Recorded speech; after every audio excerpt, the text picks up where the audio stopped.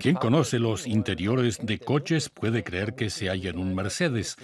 Casi correcto. Se trata de un Infinity, el QX30.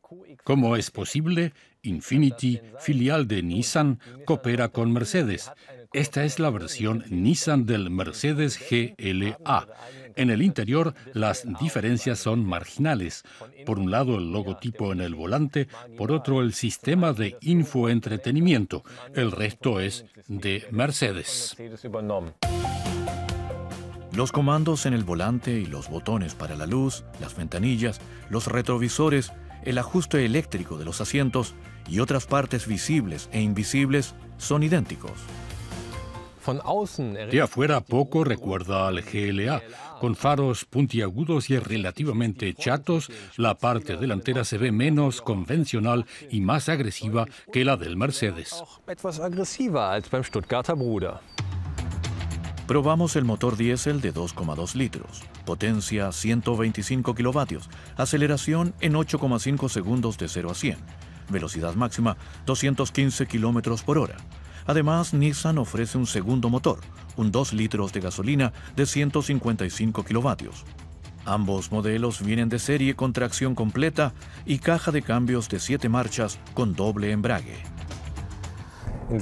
En cuanto a motor y suspensión, el GLA viene con una suspensión firme.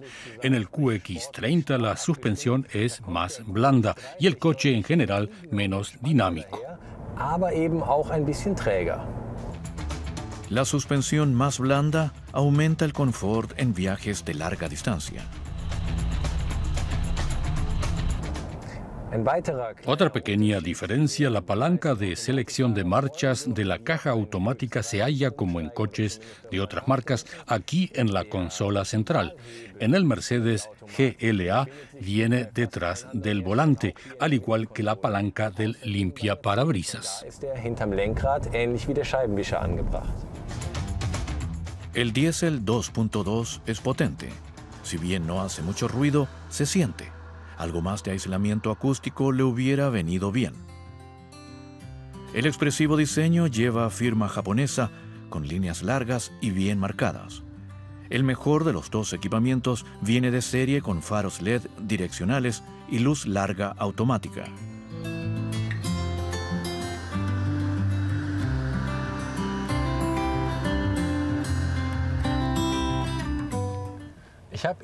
Mido casi un metro ochenta, el asiento de adelante está ajustado para mí.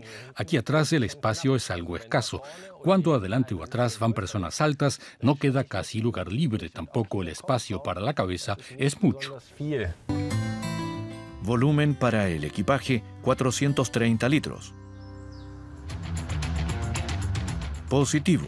Los dos equipamientos, Premium y Premium Tech, vienen ya de serie con muchos extras sistema de parada-arranque, advertencia de cambio de carril y sensores de aparcamiento. Según Nissan, el QX30 consume en promedio 4,9 litros. En nuestra prueba, a una velocidad constante de 120 km por hora, consumió 6 litros cada 100 kilómetros.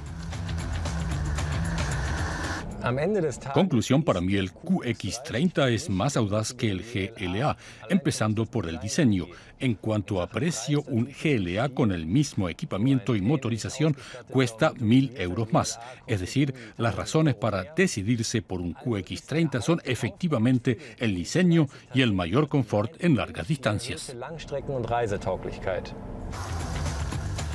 La versión básica del Infinity QX30 cuesta en Alemania algo más de 39.000 euros.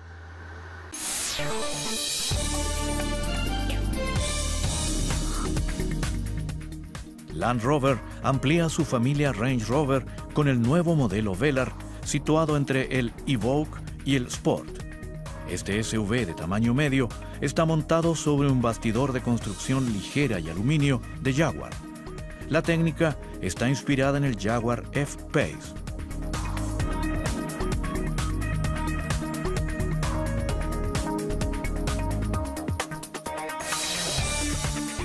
El nuevo SUV 7 asientos Peugeot 5008 tiene la mayor distancia entre ejes en su clase.